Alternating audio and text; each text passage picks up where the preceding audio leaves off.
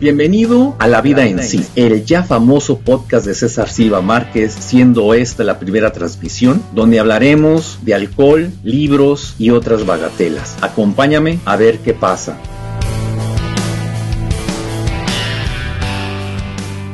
Entre todos los lugares típicos que hay en Ciudad Juárez para comer, hay un lugar muy interesante que se llama Pali, donde su platillo principal son flautas. Estas flautas se sirven en una cama de salsa de tomate cubiertas con una salsa de aguacate y todo esto lleva lechuga, pepino y zanahoria. También se le pone un vinagre que ellos dicen que es de manzana, yo lo dudo, pero si ellos dicen que es de manzana, pues es de manzana. Hace unos meses fui a Ciudad Juárez a dar un taller de novela negra y una de esas tardes llegué a la Pali, tenía años que no iba. Cuando yo era niño comía una orden de flautas. Esta última vez que fui me comí una orden y media de flautas. En el momento en que terminé me di cuenta que eran demasiadas. Pensé que si volvía a Ciudad Juárez, a la Pali, nada más pediría una orden. Cuando era un adolescente llegué a comerme hasta cuatro órdenes de flautas. No es muy común, no es algo que se recomiende, es casi casi un juego. Cuando ya estaba estudiando en el tecnológico y trabajaba, tendría unos 20, 22 años, me comía nada más dos órdenes. A mis 45 años regresé a comerme nada más una orden y media, sabiendo que nada más debía de haber pedido una sola orden. Esto significa que regreso al origen, que regreso al cero. Me pongo a pensar qué sucederá cuando cumpla 60 años. Sé que es un ejemplo guarro, pero lo pongo aquí.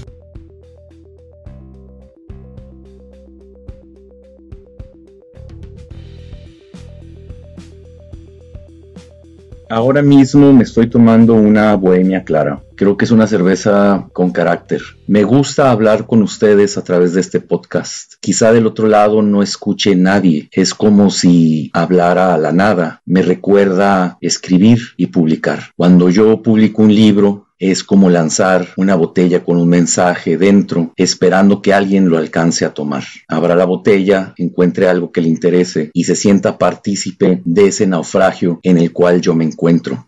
Desde niño a mí me gustaba la radio. Esto no es la radio, pero se parece un poco. Me gusta jugar con la idea de que hay alguien ahí escuchando que me tomé una bohemia y que me parece amarga y que esa persona diga, ah, mira, a mí también me parece amarga. El que esté por ahí agradezco estos minutos de su tiempo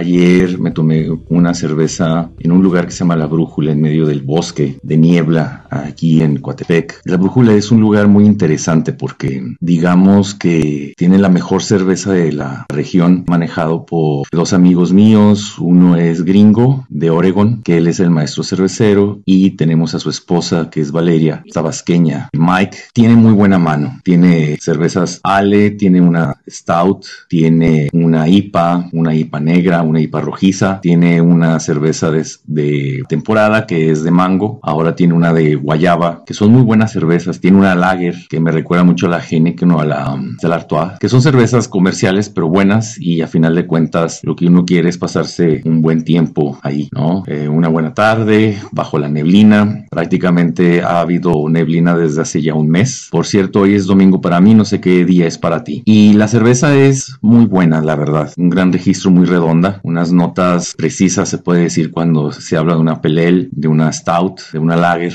El precio es muy accesible. Yo creo que los que vengan por esta región tendrían que tomar esa cerveza. Es quizá de la mejor cerveza que puede haber en Veracruz, al menos aquí en Jalapa. Hay otras, tenemos Neblina, por ejemplo, tenemos Pisquiac, pero realmente el registro de la brújula es único. Y no sé, hoy domingo todo está tranquilo, no está sucediendo demasiado ahora mismo ha sucedido. Terminé de leer una novela impresionante que se llama, ¿cómo se llama esta novela? Alex, de un autor francés, Maître. Bastante interesante la novela. Es una novela negra, una novela policíaca, donde Alex comienza siendo la víctima. En la primera vuelta de tuerca tenemos que no es tan víctima como se pretende y luego hay otra vuelta de tuerca casi para cerrar la novela. Creo que vale la pena leerla. Es una muy buena novela. El personaje Camille, que es el inspector, es súper divertido y chingón. Se puede decir que es un gran personaje, muy, muy pedante, muy duro, pero funciona muy bien como,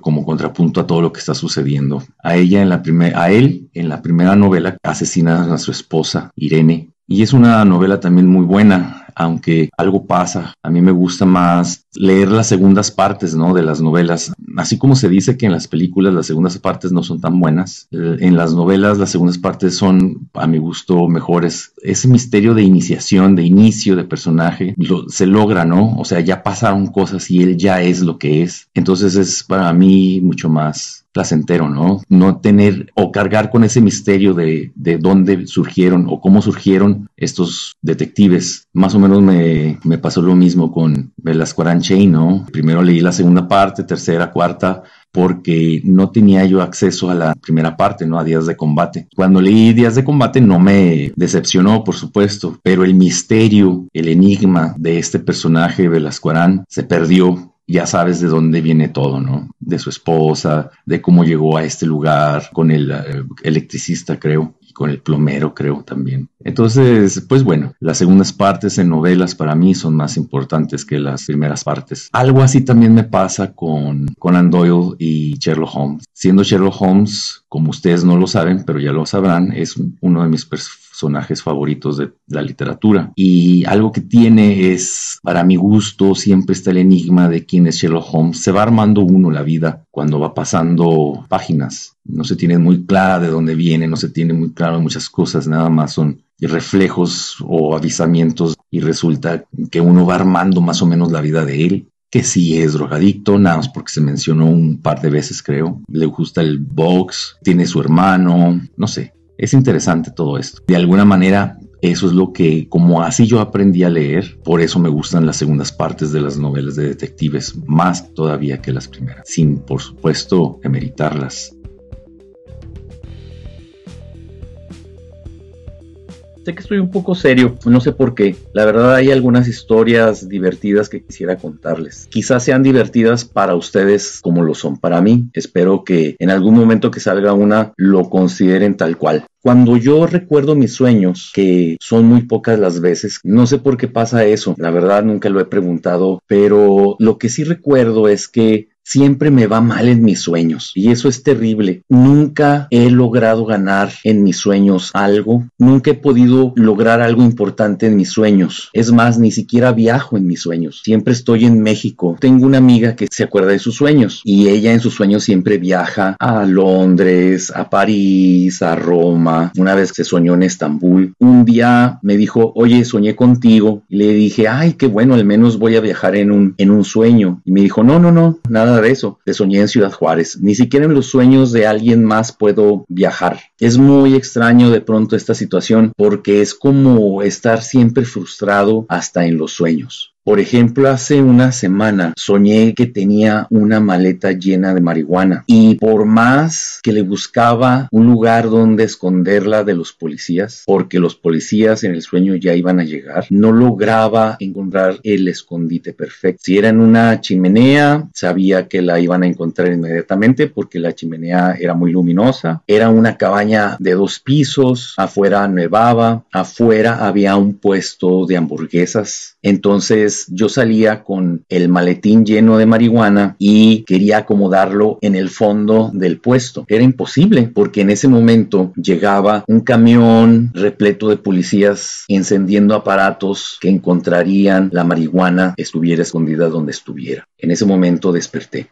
También el día de hoy soñé que estaba estacionando mi camioneta frente a un negocio en Ciudad Juárez. Yo me bajaba para ir a un hotel cerca de ahí y cuando regresaba la camioneta ya no se encontraba ahí. La buscaba pensando que me había equivocado de lugar, pero no, simplemente la camioneta ya no estaba ahí. Me metí a los negocios para revisar las grabaciones a ver si así encontraba quién se había llevado la camioneta, pero absolutamente no había nada. Me decía, mire señor, aquí no está usted en este video. Y en ese momento me acordé que yo no tenía camioneta y la angustia llegaba de nuevo porque ni siquiera una camioneta puedo tener en los sueños. Se dice por ahí que uno no puede soñar que uno se muere en los sueños, pues yo sí me he muerto en los sueños. Una vez soñé que participaba en una carrera, la cual perdía. También soñé que volaba, pero no podía despegar más de dos centímetros los pies del suelo. Y mis sueños nunca, nunca, nunca logro algo importante.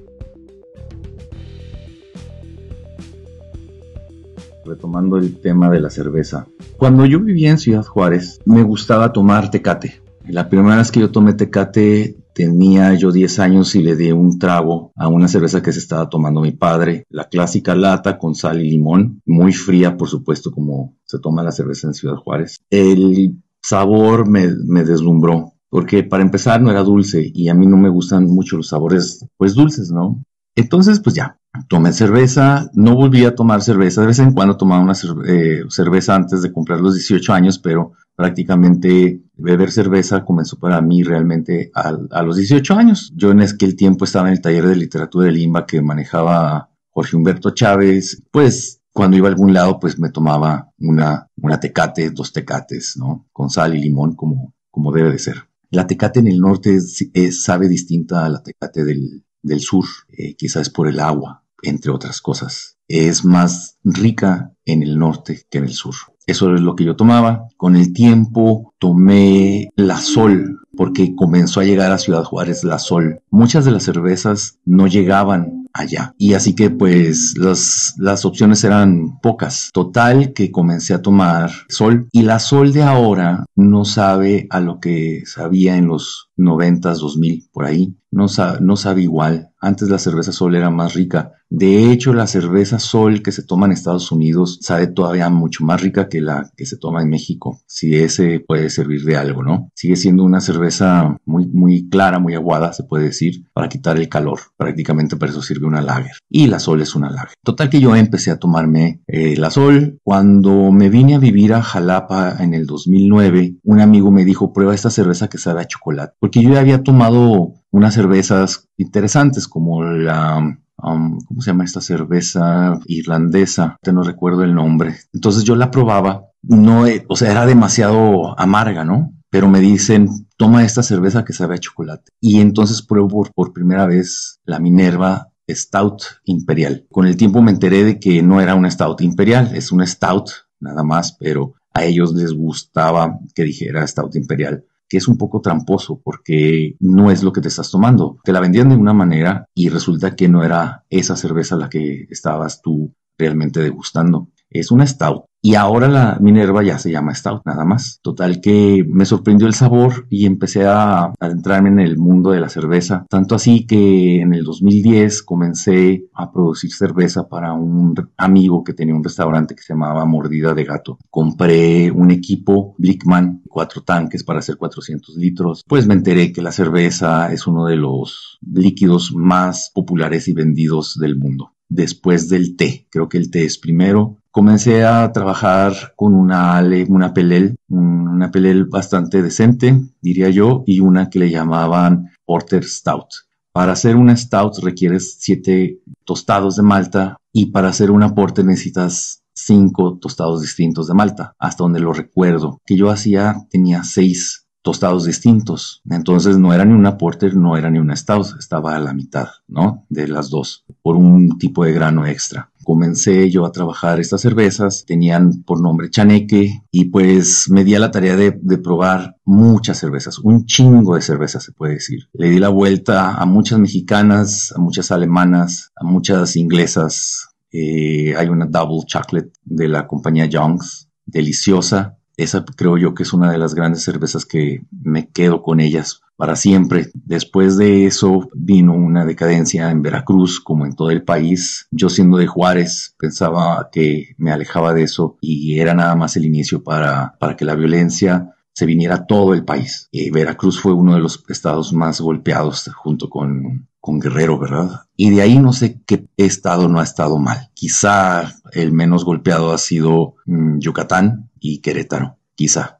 Pero no estoy seguro. Ah, me acabo de enterar que en, en, Yucatán el índice de suicidios es muy alto, quizá por lo aburrido, ¿no? Quizá porque no puedes salir de, de la casa hasta las 6 de la tarde y todo el año hace calor. No sé, quizá pues sea por eso. Yo no, nada más estoy dilucidando aquí, ¿no? No, la verdad no, ni siquiera me interesa hacer estadísticas al respecto ni encontrar algo al respecto. Tuve que vender el equipo, lo mal vendí por, a mí me había costado, había, yo creo que había gastado yo unos 250 mil pesos, entre 200 y 250 mil para tener todo el equipo, que eran ollas, quemadores, eh, los mismos fermentadores, ah, lúpulos y ya al último todo eso se vendió. Un chavo que ahorita lo sigue trabajando, hasta donde yo sé también, en Chiapas, allá en, ahorita no recuerdo tampoco, el, este lugarcito pintoresco de Chiapas importante. Sé que está cerca de una cantina muy famosa que se llama La Revolución, La Rebu, y no sé, total que por tal motivo conozco las cervezas. Me gusta la cerveza y creo que es un gran producto. Creo que te lleva al borde de, de, lo malo con tiempo. ¿no? Puedes ver ese borde si sigues tomando, lo puedes ver siendo este borde lo que tú quieras, ¿no? Lo que te da la borrachera extrema o lo que te da una borrachera ligera o lo que te da una borrachera que algunas amigas le dicen tipsy, ¿no? ese inicio de la borrachera, el mareo ligero, ¿verdad? La verdad no sé si tipsy sea una borrachera ligera, pero al menos eh, mis amigas jóvenes le dicen así. Y pues no sé, quizá, quizá me ha llevado, después de darle vuelta a muchas cervezas, a muchas, muchos tipos y en muchas variaciones y a muchas marcas y a muchas compañías, me estacioné de nuevo en la corona. Imagínense nada más, imagínate, después de darle vuelta a tantas cervezas de un gran registro, regresé a los básicos, siendo la corona lo más cercano, lo más cercano a una cerveza, a un sabor de cerveza eh, original, ¿no? Nada que ver con artesanal, nada que ver con los registros de las espumas, de, los sabores, de los lúpulos, de las maltas tostadas, quemadas, eh, acaramelizadas, rostizadas. Nada de eso, simplemente la corona llegó y hasta ahorita es lo que más consumo si no, si no encuentro alguna interesante que pueda yo probar como la brújula o de registros ingleses o una deliciosa en Estados Unidos que se llama Anchor, que tiene dos estilos, la Steamboat y la um, Porter. Eh, la Steamboat siendo una cerveza Ale, Neo, y esta cerveza tiene mucho gas, por eso se llama Steamboat, porque cuando la abres se oye tss, ¿no? Bastante fuerte, mucho más que cualquier otra cerveza. Y la Porter es, es deliciosa, ambas de un registro muy significativo para mí me acuerdo que la última que tomé fue casi para moverme a Jalapa con mi padre. Fuimos a, a un mall ahí en El Paso, Texas, y en este restaurante vendían cerveza y yo le dije a mi papá que, que se tomara una cerveza conmigo. No sé cómo fue que aceptó, no sé cómo fue que llegamos ambos ahí, no recuerdo absolutamente nada. Creo que eran los últimos días que yo vivía en Juárez. Por alguna razón llegamos ahí a este restaurancito que está en esta plaza comercial cerca mm, de, del Country Club y pues estando ahí pedí esta cerveza. Esa fue la última vez que yo la probé. No es una cerveza barata, es difícil de conseguirla. He buscado en algunos expendios ahí en, en el paso y no doy con ella. Quizá la botellita que es de 3, 235, 225 mililitros, quizá cuesta como 7, 8 dólares. Quizá esa sea mi cerveza favorita. Y quizá el recuerdo de mi padre tomándose conmigo una cerveza ya adulto de los dos me, me marcó, ¿no? Ese día me contó de su trabajo. Ese día platicamos de cómo él había sido importante en la maquilación donde trabajaba. Mi padre empezó de técnico, fue supervisor, gerente, gerente de planta y al último fue contratado con sueldo estadounidense. Y él me contó en ese momento cómo había llegado a eso, cómo había sido muy claro con el jefe que tenía porque la otra persona no quería trabajar como trabajaba mi padre, que era lo más correcto posible, lo más limpio. Y le dijo mi padre a su jefe, si no quiere hacer este, este trabajo, yo lo voy a hacer, pero lo voy a hacer y me lo vas a dejar. Eso significaba que mi padre iba a tener más trabajo y al mismo tiempo tenía que subir de puesto porque iba a hacerse cargo de toda la producción de esa planta. Eh, trabajaba para GM. Mientras esto sucedía, me tomé una Anchor. Esa es la historia de la cerveza Anchor para mí.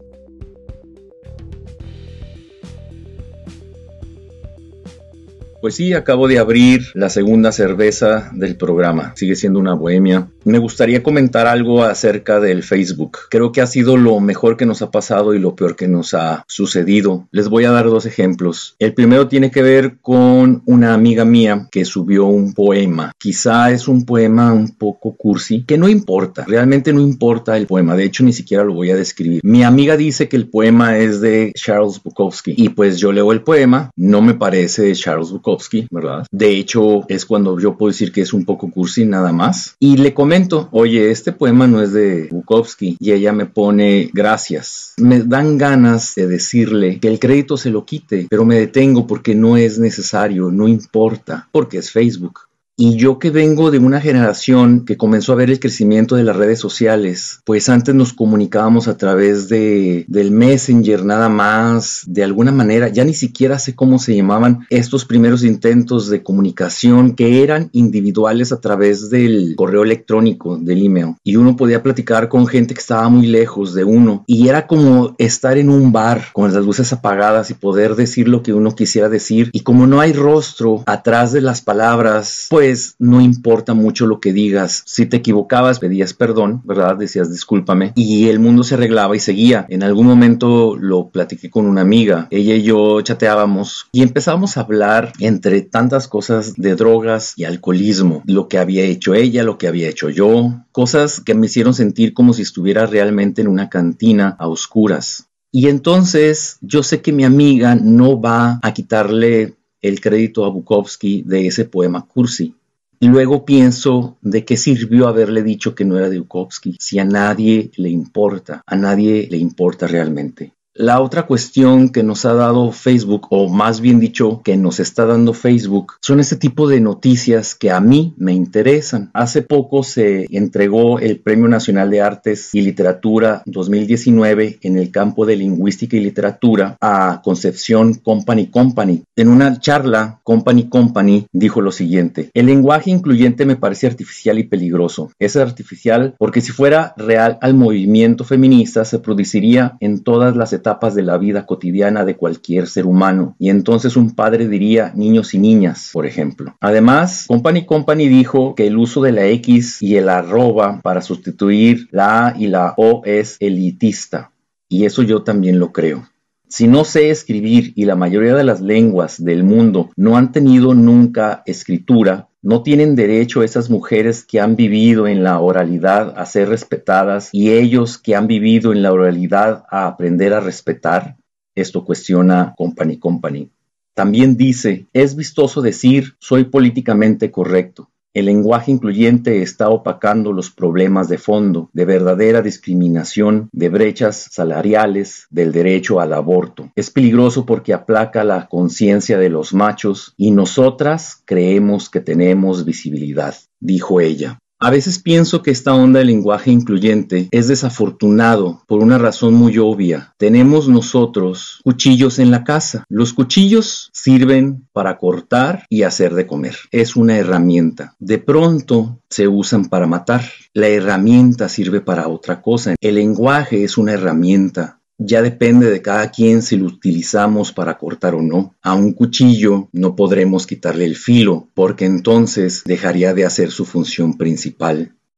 Y de esta manera llegamos al final del ya famoso podcast de César Silva Márquez, La vida en sí. Espero me acompañen la próxima semana. Nos escuchamos pronto y por mientras que tengan muy buen día, muy buena tarde o muy buenas noches. Por aquí nos vemos a ver qué pasa. La música que nos acompañó hoy es de Kevin MacLeod.